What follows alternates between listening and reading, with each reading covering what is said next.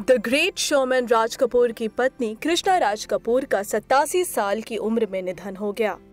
महज 16 साल की उम्र में कृष्णा का विवाह पृथ्वीराज कपूर के बेटे राज कपूर से हुआ था। कृष्णा ने 1946 में राज कपूर से शादी की थी। कृष्णा का परिवार रीवा में रहता था।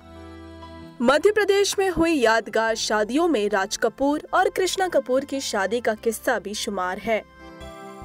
कृष्णा के पिता करतार सिंह रीवा के आईजी थे। ऐसे में पृथ्वीराज कपूर की मेहमान नवाजी से लेकर सुरक्षा का पूरा जिम्मा उनके हाथों में था।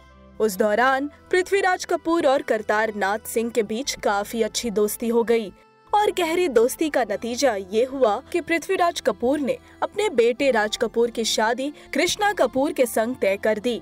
इसके बाद शोमैन राज कपूर की बारात रीवा आई थी रीवा के सरकारी बंगले में राज कपूर और कृष्णा राज कपूर की शादी हुई। तब कृष्णा मल्होत्रा बनी शोमैन राज कपूर की पत्नी कृष्णा राज कपूर। 1988 में राज कपूर के निधन के बाद उन्होंने अपने पूरे परिवार को साथ रखा।